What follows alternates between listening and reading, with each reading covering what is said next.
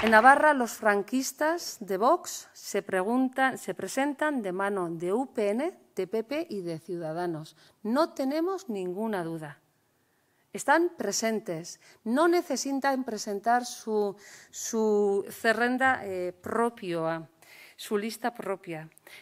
Por eso, desde Euskal Herria Bildu queremos hacer una reflexión, que es, no estamos pidiendo el voto para unas siglas, siglas hay muchas. Siglas hay muchas y algunos nos hemos presentado ya en tantas que ya hemos perdido la cuenta. Lo que estamos pidiendo es el voto para una persona que representa unos valores alternativos a los de la contrarreforma.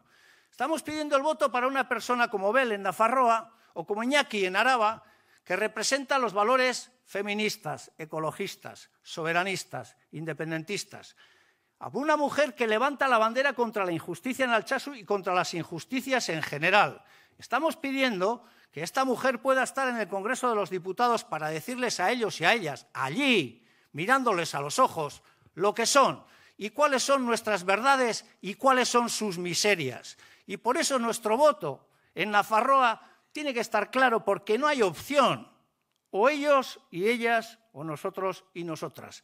Que Bel Pozueta esté en el Congreso sería una magnífica noticia en términos políticos, pero sería una magnífica noticia en términos de justicia poética.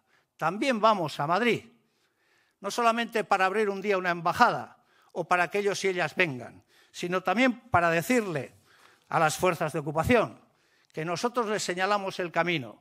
Nosotros vamos para un día no ir y ellos se tienen que ir para no volver nunca más. Gora Euskal Herria.